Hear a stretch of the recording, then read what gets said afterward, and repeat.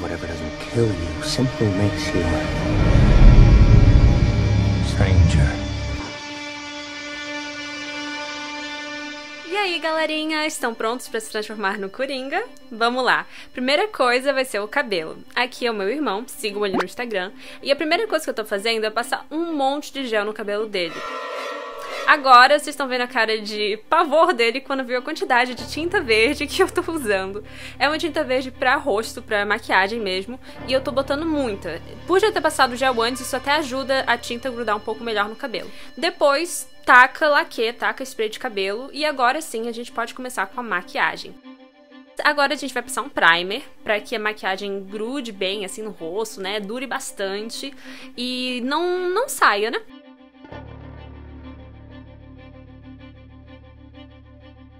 Então agora eu vou pro branco do rosto. Eu tô usando isso da Vult, que é tipo um, um creme, assim, é uma coisa mais grossa. E eu tô usando uma esponjinha. Quando eu vou passar, eu peço para ele fazer algumas caretas, tipo de assustado, de bravo, pra gente conseguir deixar um pouco mais marcado as linhas de expressão do rosto, igual que o Heath Ledger tem na maquiagem dele. Então é só sair fazendo assim um monte de careta, e tudo bem também se não marcar tanto, porque depois a gente vai por cima com um cotonete, um cotonete molhado, para daí sim marcar bem essas expressões faciais, que realmente, como cada pessoa tem expressão facial diferente, um rosto do outro, e algumas não marcam tanto, é, a gente sempre pode arrumar isso depois. Batatinha frita, um, dois, três. Então pode passar bastante, que assim não sai tão fácil, né, gente? Pode tacar aí essa tinta branca.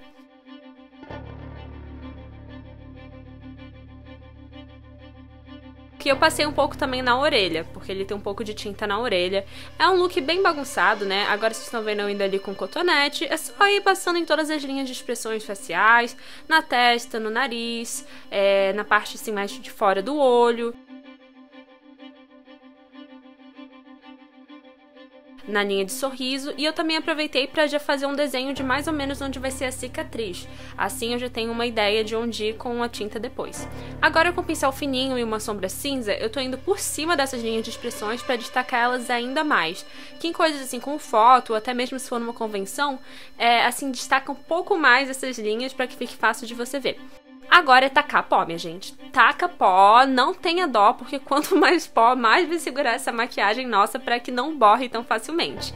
Depois, eu peguei uma sombra branca e tô passando no meio das linhas de expressões para nas partes elevadas. É igual quando você faz uma iluminação e um contorno. Isso ajuda a destacar um pouco mais, vai dar um destaque mesmo, gente. E isso é algo que vocês vão ver fazer muitas vezes durante o vídeo, que é spray de fixação de maquiagem. Quanto mais, melhor. Agora com esse, esse creminho, assim, de, de aquela de baratinha de loja de fantasia. Então, taca no olho, assim, igual um guaxinim. Você vai ficar igual um guaxinim. Eu botei bastante ali. E depois, aos pouquinhos, você vai puxando pra fora, assim, como se fosse uma aranha com várias perninhas cabeludas. Eu não sei se isso é uma boa representação. Não sei, mas é o visual que você precisar, você utiliza, sabe?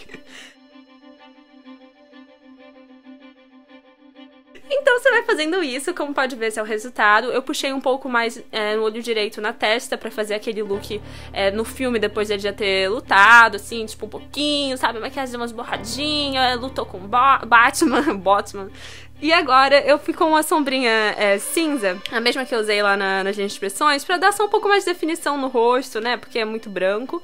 E depois com o mesmo pincel eu botei um pouco de preto pra fixar bem ali no olho. Eu tinha tentado ir com um pincel menor, só que eu senti que não foi suficiente. Depois mais fixação, spray de fixação de maquiagem. E agora com esse batom da Quem Disse Berenice, gente, Quem Disse Berenice me patrocina, porque eu amo o batom de vocês. Gente, dura muito esse batom. Então eu usei pra fazer a cicatriz, usei pra fazer tudo.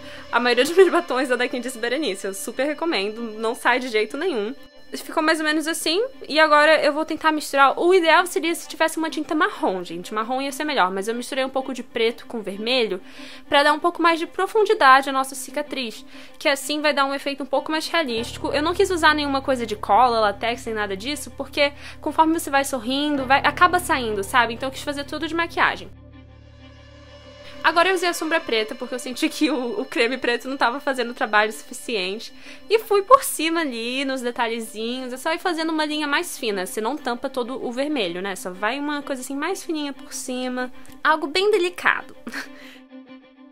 E agora é, você pode dar uma limpada ou uma misturada com cotonete ali, né? Eu fiz pra tentar não ficar muito forte aquilo.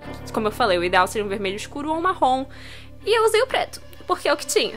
E agora, gente, é, eu tô usando branco. Isso sim, ó, é um game changer que eles falam, né? Mudança do jogo, o negócio que dá um tchan tchan tchan. É passar essa sombra branca em volta da sua cicatriz. Vai parecer que sua pele tá levada, vai parecer que é uma cicatriz de verdade. Façam isso, vocês não vão se arrepender. Dá um efeito, ó, maravilhoso. Eu também taquei um pouquinho de é, pó, igual que eu passei no rosto, por cima do batom pra fixar bem, sabe, gente? A gente não quer que borre. Também fiz mais um detalhezinho bem na borda da boca ali com preto e depois passei por cima da cicatriz inteira o nosso queridinho vermelhinho da Quem Disse Berenice. Isso ajuda a unificar bem todas as cores e deixar a cicatriz assim maravilhosa como ficou. Nisso, mais spray de fixação, nunca é demais, e nossa maquiagem está pronta! I thought my jokes were bad. Eu gostei muito do resultado. Eu achei que ficou muito legal pra uma maquiagem artística sem nenhum efeito especial, assim, como eu falei, de cola nem nada do tipo. E agora vocês vão ver como que ficou o ensaio fotográfico que a gente fez com a cor criativa. O trabalho da Carol é incrível. Vão seguir ela no Instagram, gente, que vocês não vão se arrepender. Também não se esquece de me seguir no Instagram, Bluemoon221B e Rafi Underline Marx. E o meu irmão, que é esse coringa maravilhoso, Rafael Petri 2015. Little emotion.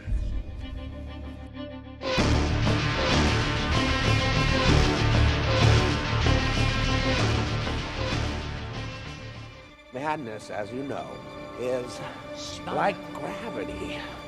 All it takes is a little push.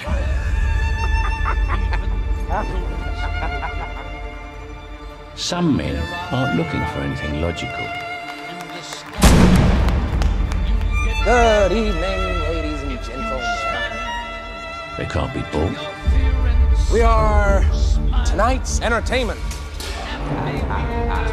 bullied, reasoned, or negotiated with. Oh, criminals in this town used to believe in things. Honor, respect. Look at you. What do you believe in, huh? What do you believe in? I believe whatever doesn't kill you simply makes you stranger. É isso aí, espero que vocês tenham gostado. Não se esqueça de comentar, se inscrever e de seguir o meu irmão Rafael, que é o Coringa, e a Carol, cor criativa, que foi a fotógrafa desse ensaio. Até a próxima!